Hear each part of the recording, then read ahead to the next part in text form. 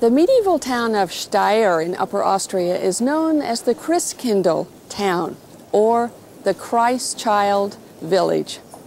An interesting story goes along with the Christkindl.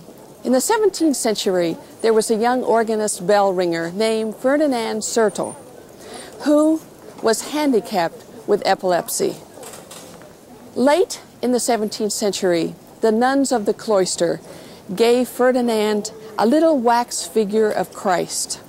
The boy took the wax figure to the forest, and every day he prayed to Jesus that he would be healed. The young boy was healed.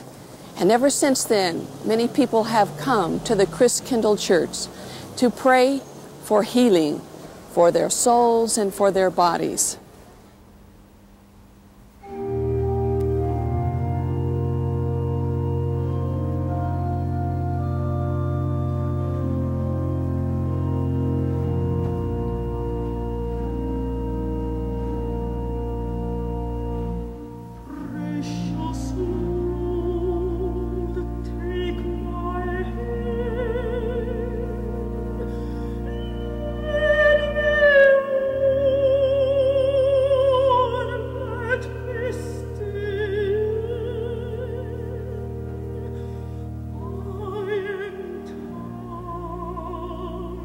I am